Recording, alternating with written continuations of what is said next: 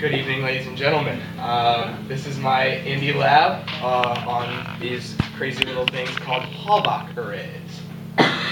so, what is a Halbach array? Um, it is really just any array of like magnets.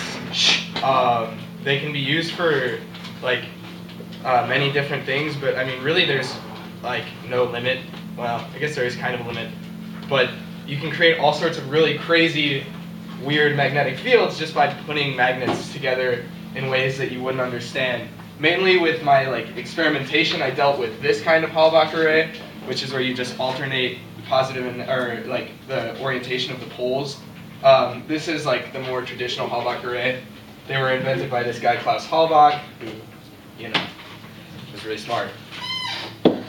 Um, so my experiment um, there's two parts. The first part, um, I'll talk about the second part later, but the, the first part, I had this, um, I, I, had it as a protractor, but I just used that because I could tape it easier. Um, I had this ruler here um, with the metric over here, and I would uh, set up my arrays like this so that like they lined up right with the line on the sensor that showed where um, like the sensor was actually sensing from and then you can see how the poles are arranged. And what I would do is I would uh, move the sensor along until it read a reading of exactly one uh, microtesla, and at that point I would uh, carefully mark where it was. Um, I would like it, it wouldn't be exactly like this because obviously like the sensor is over where I would be marking it, but um, I would have it like a little bit off to the side, and um, I just went from two magnets up to 10. And um, I was trying, what I really wanted to do, oh, yeah, sorry. Was it, millitesla? Uh, millitesla. Okay, I think so. Uh, my bad. I was just saying M and I think. Um, uh, so, yeah, milli, Tesla. Thank you, Doc, for correcting me there. Um, I really wanted to test, I mean, obviously there's not even a lot to, to test with these. Uh, mathematically, I, I can't even really include a background um, because the equations for calculating the uh, the magnetism, you, you really would calculate the magnetism and not the magnetic field of these. But even still, the equations for the magnetism of these arrays are really like specialized. Like only specific arrays have equations for them, um, and I couldn't find a generalized equation for that. So I was just I just wanted to test a really like out of the box relationship, like. Um, so I, I tested like the like the distance at which that field was one millitesla away from the central fringe because there's a like a node of magnetic field in between each of these magnets. So hmm. i would test that and i would put it versus the number of magnets in the array. And so the graph i got was like this. I played around with linearizing it and it turned out to be pretty dang linear uh, along like a negative square root relationship, uh, which I really did not expect at all. Uh, first of all, that meant, meant that like as more magnets were being added, not only was like the, and I, I also want to be careful to note that I wasn't actually directly measuring the strength of the magnetic magnetic field in the center of the ray, but I assume that I like I'm making the assumption that the measurement of the distance away from the mag- the surface of the magnets at which the field was that strength is like cor- correlates to the actual strength of the field. But it just meant that like the field strength was not only decreasing as I was adding more magnets to the array, but it was like decreasing more rapidly, which first of all doesn't make sense because eventually like it would just go past like the the array. So I don't know if it would just stop at zero or maybe if it would level out at some point. But like as far as I tested, it was a, very even uh, correlation. Uh, and uh, like I said, I don't really have any uh, equations, so I couldn't relate that to an equation. But um, yeah, that's what I got. Uh, part two, I was screwing around and I came across this really interesting graph because I, I wanted to see if I could map the shape of the magnetic field around one side of this array. And uh, I was really blown away when I got this graph because it almost perfectly sh shows directly the shape of the graph. What I did was I uh, moved the I, I like this was not real data. I was just moving my hand across the array, trying to keep it as steady as possible. But you can see like a beautiful symmetry here. This was with eight magnets together, and so you can see uh, like this perfect symmetry down the middle, and you can see like the right side is like a little bit smaller than the left side, but all like the same shape. And I think that's just because I probably moved my hand a little bit further back or something like that. Um, so I decided I would test um, the field strength at a given distance away from the array, like uh, at each node, you know, because like I said, there were like lumps around each array. Um, and so I got this graph. I chose I chose to show the one with nine magnets. Uh, I did eight, nine, and ten for this experiment, but I, these graphs were the most pretty. Um, I don't know why, but this first graph has a beautiful symmetry along like this line here, which I don't know why that would be. Also, I'd like I'd like to point out that. Um, oh, by the way, I don't really have any real mathematical analysis for this stuff because, like I said, I don't have any equations for these. And this this doesn't even follow any kind of pattern at all. But this is just the absolute value of that graph because I wanted to see if it made any kind of shape. But you can see like this because this has an odd number of magnets and the, the last one had an even number of magnets. So you remember that like the first two peaks were on the same side, right? Or the first and the last peak were on the same, like were both negative for the eight graph. But for the nine one, it goes like this. If I draw these peaks in here. So like you can see that it kind of like flips over. It's like rotationally symmetrical this time and not like uh, linearly symmetrical, which I thought was really cool just to see like the interesting difference between like an odd number of magnets and an even number of magnets. Um, I tried to linearize like just these values here, but they literally would not linearize. Uh, I tried like literally everything I could think of, like trig functions. I tried doing like inverse hyperbolic trig, which is actually surprisingly easy to do. Uh, like nothing would linearize that at all. Um, so I really was at a loss. So that's why I'm doing qualitative analysis, quantitative analysis for that stuff. Um, so I wanted to, I wanted to also take a second to like talk about other Halbach arrays that are much more interesting. The classic example of the Halbach array, it does have an equation for the field strength at all at the points uh, around it. Um, this is the a representation of the array.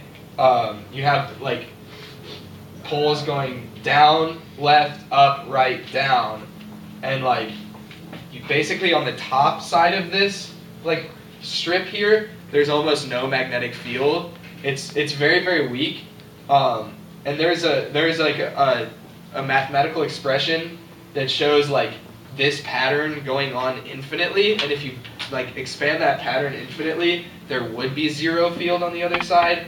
But obviously, since this is the real world, it has to end at some point. And um, this is almost exactly half or twice as strong um, as the field would be in if it was just like all poles facing the same direction. Um, and notice how the field like alternates sinusoidally between like positive and negative. I thought that was really cool. And then also, there's a lot of like really cool sinusoidal stuff going on here.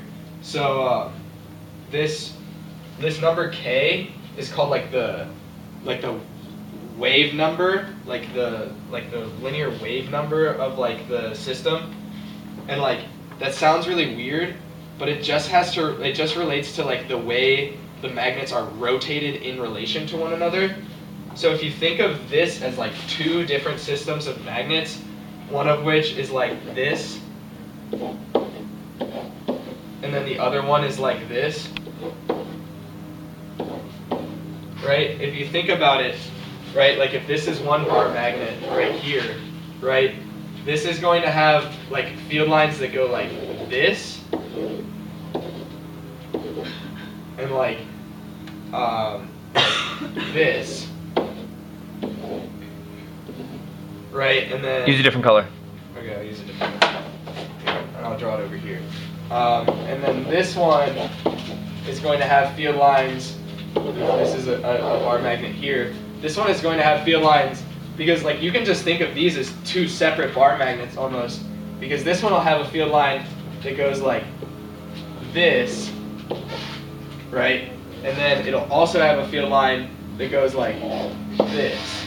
And this one will have a field line going like this. And it'll also have a field line going like this.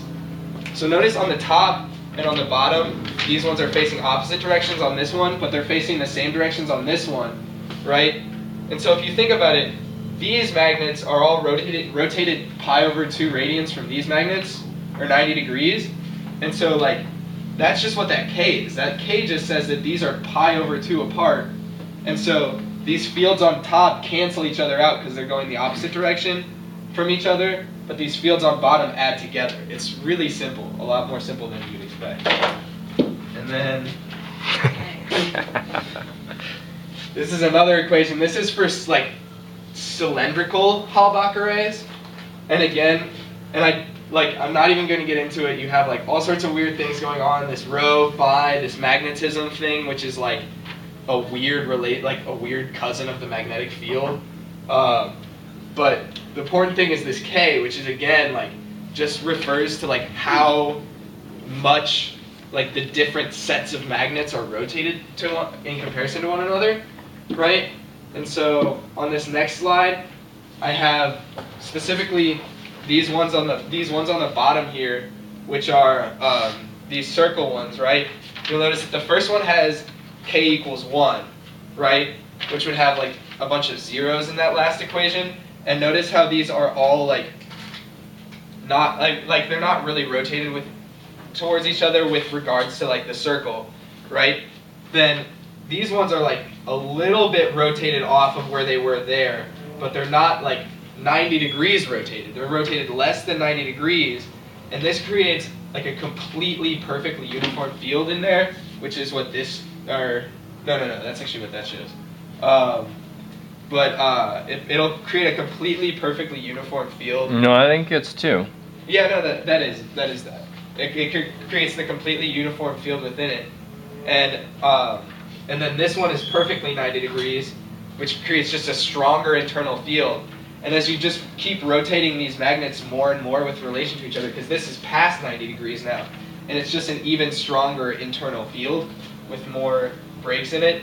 And then also notice how the bottom arrow is like, like the top bottom arrows are opposite on this one, then they're the same way on this one, then they're opposite on that one, then they're the same way on that one. And that just, um, again, reinforces like the cyclical nature of this thing. And then there are all sorts of uses for the Halbach arrays. This is what a fridge magnet looks like. Um, basically these alternating poles with then these these uh, extra magnets on the bottom. Is that why they don't stick backwards? So they don't stick backwards. They're Halbach arrays, uh, little Halbach arrays. And then this is used in like uh, quantum physics experiments. This wiggles uh, quantum particles um, because they they use these Halbach arrays to like design the shapes of the magnetic fields uh, really really precisely. And then they shoot electrons through them and wiggle the electrons exactly the way they want to. Um, and I thought that was really cool. They they're, they're literally called Halbach wigglers. Yes. Um, thoughts and conclusions. So, in conclusion, um, this is a really fun experiment. Um, I tried to I tried to do the experiment at first with the more complicated Halbach array, the one with like the 90 degree rotation within it, but uh, it I really experienced that 90 degree rotation because the magnets really don't want to stick together that way. That, that's like the worst possible way to try to stick uh, five magnets together. Like there's not a more difficult way to do it. Like mathematically, that is the most difficult way. And um, I was kindly borrowing Dr. Schuster's magnets, and I didn't want to have to glue them together or anything. So um,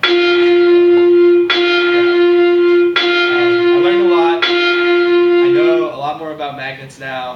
Thank you very much. So, do you want to tell us when you did your lab? Yesterday. okay,